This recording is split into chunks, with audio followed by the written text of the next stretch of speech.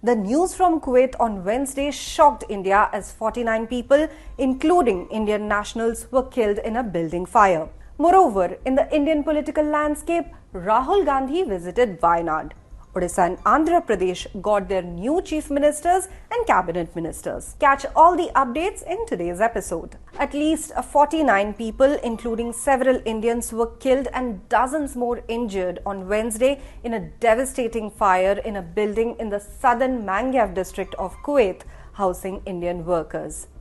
The blaze broke out early on Wednesday morning, reportedly in a kitchen on a lower floor, and quickly spread through the building, trapping many inside. Taking note of the accident, Minister of State Kirti Vardhan will visit Kuwait to take toll of the situation. Prime Minister Narendra Modi condoled the deaths and said that the Indian embassy is closely monitoring the situation and working with the authorities there to assist the affected. Congress leader Rahul Gandhi conducted a road show in North Kerala district on Wednesday and said that he is unable to decide whether to represent Wayanad or Raebareli as a member of parliament.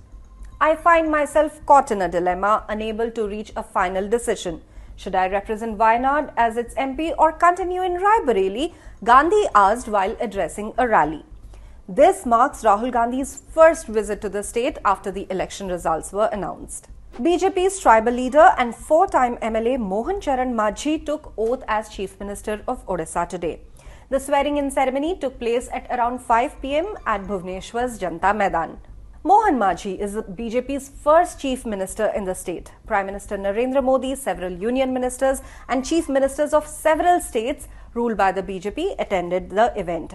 Meanwhile, Telugu Desam Party Supremo N. Chandrababu Naidu also took oath as the Chief Minister of Andhra Pradesh on Wednesday, marking his fourth term in the post. Janasena Party Chief and power star Pawan Kalyan was sworn in as a cabinet minister. The Supreme Court on Wednesday came down heavily on the Delhi government over the prevalence of tanker mafia and water wastage amid crisis in the capital and asked what measures the government has taken against them. The top court asked the Delhi government to explain the steps taken to prevent water shortage. A vacation bench of Justices Prashant Kumar Mishra and Prasanna B. Varale told the Delhi government that if it can't deal with the tanker mafia, it will ask the Delhi police to take action in this matter. That's all for the day. We are leaving you with this heartwarming visual of Indian politics where the outgoing Odisha's Chief Minister Naveen Patnaik congratulates his successor Mohan Charan Majhi at his oath taking ceremony.